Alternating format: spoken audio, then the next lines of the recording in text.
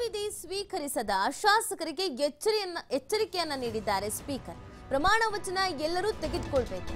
ಗೈರಾದ ಶಾಸಕರಿಗೆ ಹಂಗಾಮಿ speaker R V Deshpande warning ಅನ್ನ ಕೊಟ್ಟಿದ್ದಾರೆ. ಯಾರು ಪ್ರಮಾಣ ವಚನ ಪಡೆದಿಲ್ಲ ಅವರೆಲ್ಲ ಪಡೆಯಲೇಬೇಕು. ಸಾಧ್ಯವಾದರೆ ನನ್ನ ಚೇಂಬರ್ಗೆ ಬಂದು ಸ್ವೀಕರಿಸಿ ಅಂತ ಹೇಳಿದ್ದಾರೆ. ಇಲ್ಲವಾದಲ್ಲಿ ಕಾರ್ಯದರ್ಶಿ ಸಮಕ್ಷಮದಲ್ಲಿ ತೆಗೆದುಕೊಳ್ಳಿ ಅಂತ ಕೂಡ ಹೇಳಿದ್ದಾರೆ. ಪದಗ್ರಹಣ ಆಗದಿದ್ರೆ ಸ್ಪೀಕರ್ ಚುನಾವಣೆಗೆ ಪರಿಗಣಿಸಲ್ಲ ಅಂತ ಹೇಳಿದ್ದಾರೆ. ಪ್ರಮಾಣ ವಚನ ಸ್ವೀಕಾರ ಮಾಡುವಂಥದ್ದು ಒಂದು ನಿಯಮ. ನೀವು ವಿಧಾನಸೌಧದ ಒಳಗೆ ಹೋಗಿ ಕಲಾಪದಲ್ಲೆಲ್ಲ ಭಾಗ್ಯ ಆಗ್ತೀರಾ ಅಂತ ಅಂದ್ರೆ ಸಂವಿಧಾನದಲ್ಲಿ ನೀಟಾಗಿ ಉಲ್ಲೇಖ ಆಗಿದೆ. ಚುನಾವಣೆಯನ್ನ ಎದುರಿಸಬೇಕು, ಪ್ರಮಾಣ ವಚನವನ್ನ ಸ್ವೀಕಾರ ಮಾಡಬೇಕು. ಅದರಲ್ಲಿ ಯಾವ ರೀತಿಯಾಗಿ ಪ್ರಮಾಣ ವಚನವನ್ನ ಸ್ವೀಕಾರ ಮಾಡಬೇಕು ಅನ್ನುವಂಥದ್ದು ಒಂದು ಫಾರ್ಮ್ಯಾಟ್ ಕೂಡ ಇದೆ. ಇದನ್ನ ಫಾಲೋ ಮಾಡಲೇಬೇಕು. ಪ್ರಮಾಣ ವಚನವನ್ನು ಸ್ವೀಕರಿಸದೆ ನೀವು ಹಾಗೆ ಇರ್ತೀರಿ ಅಂದ್ರೆ ಅದು ಸಾಧ್ಯವಾಗೋದಿಲ್ಲ. ಯಾರೆಲ್ಲ ಇಲ್ಲಿವರೆಗೂ ಸ್ವೀಕರಿಸಿಲ್ವೋ ಅವರೆಲ್ಲ ಈಗಲೇ ಸ್ವೀಕರಿಸಿ ಅನ್ನುವಂತ ಒಂದು ಎಚ್ಚರಿಕೆಯನ್ನ ನೀಡಿದ್ದಾರೆ.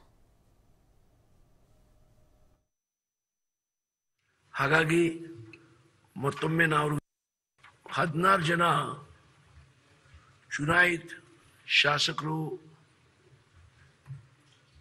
ಇನ್ನುವರೆಗೆ ಪ್ರಮಾಣ ವಚನ ತೊಡೆದು ಇರುವುದಿಲ್ಲ. ಪ್ರಮಾಣ ವಚನ ತಗೊಂಡಿಲ್ಲ ಆದರೆ ನಾಳೆ ಏನು ಸ್ಪೀಕರ್ ಚುನಾವಣೆ ಆಗ್ತದೆ ಅದರಲ್ಲಿ ಅವ್ರಿಗೆ ಭಾಗವಹಿಸಲಿಕ್ಕೆ ಬರುವುದಿಲ್ಲ. ಹಾಗಾಗಿ ಮತ್ತೊಮ್ಮೆ ನಾನು ವಿನಂತಿ ಮಾಡ್ತಾ ಇದ್ದೇನೆ.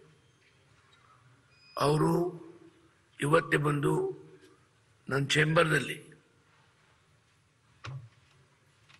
ನಮ್ಮ ಕಾರ್ಯದರ್ಶಿಯ ಉಪಸ್ಥಿತಿಯಲ್ಲಿ ಪ್ರಮಾಣ ವಚನ ತಗೊಳ್ಬೇಕು ಹದಿನಾರು ಜನ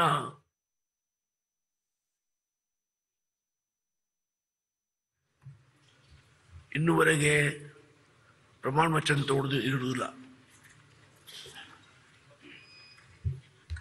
ಪ್ರಮಾಣ ವಚನ ತಗೊಂಡಿಲ್ಲ ಆದರೆ ನಾಳೆ